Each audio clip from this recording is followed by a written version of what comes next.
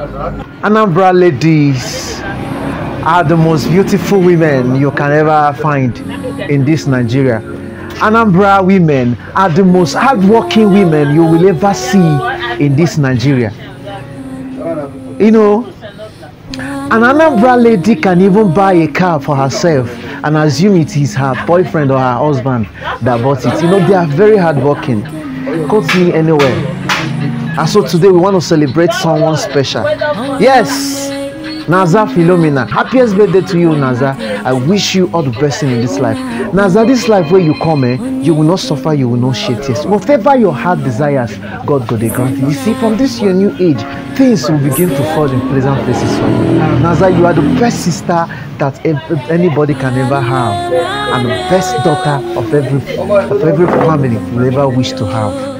Happiest and a wonderful birthday to you. Wonderful and beautiful Naza.